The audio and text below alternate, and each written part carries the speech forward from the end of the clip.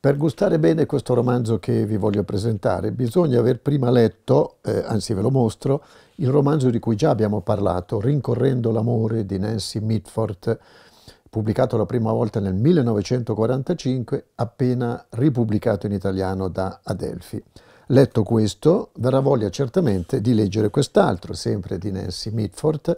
con un bel titolo, L'amore in un clima freddo, un titolo che più inglese di così non si può.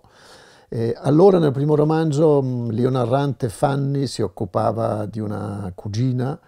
che rincorreva l'amore in un ambiente dall'alta borghesia di campagna o dell'aristocrazia inglese e un romanzo molto divertente ma anche molto crudele nei ritratti di una certa società o imbalsamata o, o fintamente rivoluzionaria. Questa volta è sempre Fanny che parla, ma questa volta lei si occupa di un'altra ragazza, la carissima amica Polly, che è figlia di una coppia ricchissima, figlia unica.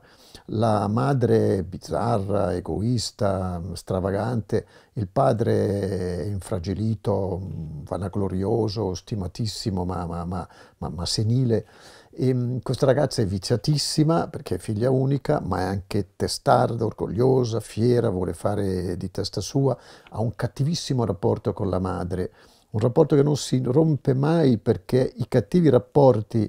eh, fra madre e figlia di solito non si rompono mai anche se fanno molto male, ma Polly fa quel che vuole, scappa, va a stare per esempio con un uomo molto più vecchio di lei che non si sa nemmeno se lei lo ami o meno, ma insomma magari era solo per fuggire di casa, ma lasciamoli la trama al gusto del lettore. Dico che come nel primo romanzo, anche in questo, Nancy Mitford è una ritrattista comica, addirittura divertente, si ride parecchio, ma spietata della società inglese del suo tempo. Siamo sempre dagli anni 30 in avanti.